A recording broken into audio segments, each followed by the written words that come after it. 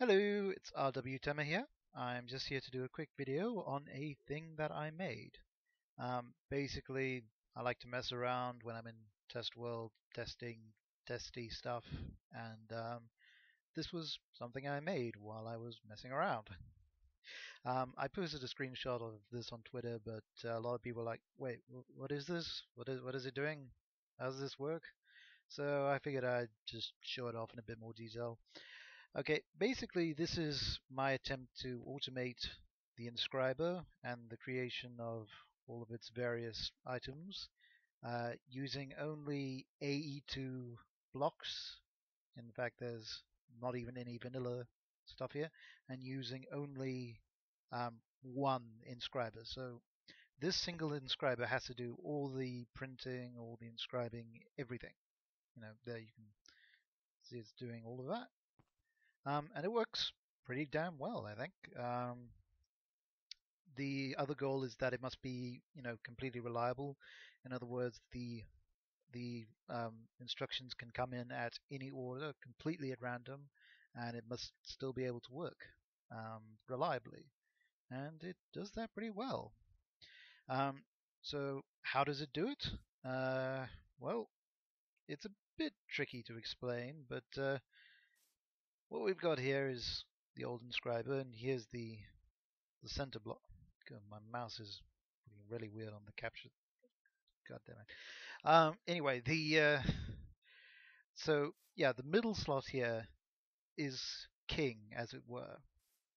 So here we've got an ME interface with patterns coming in. These are for diamond, silicon, and so on. And this is just going into another interface, which has ooh, quite a lot of stuff here. Um, and as you know, an interface will constantly try to pull into the system, and the only place for it to go on this subnetwork, there's eight channels being used, that's an import bus. The only place for it to go is here, into this storage bus, um, into the middle slot. But uh, once it gets there, it needs to have all the appropriate other stuff put in there as well. And this is where these these little redstone torches, which are level emitters, come in. Um, and if you look here, you can see ME toggle buses and inverted ME toggle buses. These are actually really great, and a lot of people don't really use them, which you know makes me sad because they're completely free. They don't use up any channels, and you can do some pretty amazing stuff with these. Um, so here you've got uh, crystal. If there's one in there, it turns off the redstone thing. Um, you could change that and just swap these inverted and regular ME controllers around. It doesn't really matter. Um, so yeah, what's happening here is that over here we have report inaccessible. This is important. You have to set the report inaccessible items to be yes. Otherwise, it won't detect anything because you can't actually pull out from the center slot can pull out from the top and the bottom slots, but not the center one. If you try to pull out from there, it, it pulls out from the output. Um, and so we've got one here for Certus quartz, um, for uh, diamond, one for gold, one for silicon, and one here for redstone.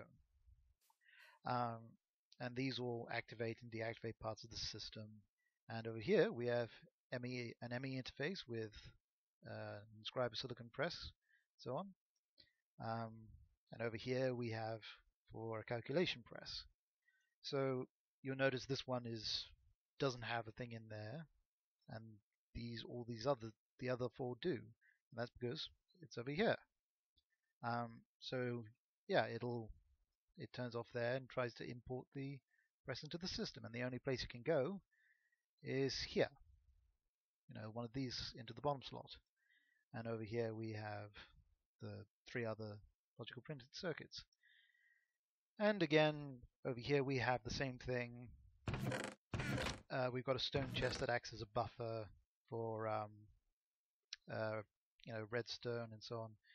You know we have six, sorry, seven redstone. We've got two plus five there, and well, it's changing slightly, but you know there, there's always the sort of the right amount here. You will always have one redstone, uh, one printed silicon, and one of the other three items there. So you don't worry, need to worry about that thing getting out of sync.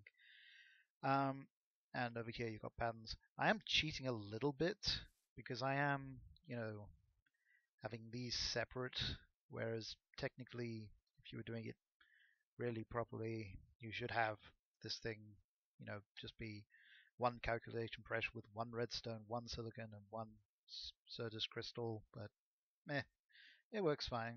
And, uh, yeah. And, you know, it, so it works the same sort of principle.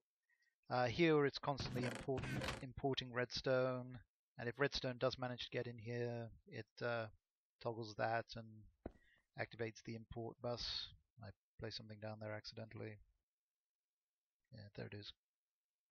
Um, so it'll import all the other things required if there's redstone in there. And, uh, so yeah, it'll and it's very reliable. It hasn't uh, gotten stuck or crashed once, and I've, I've been printing hundreds of these things.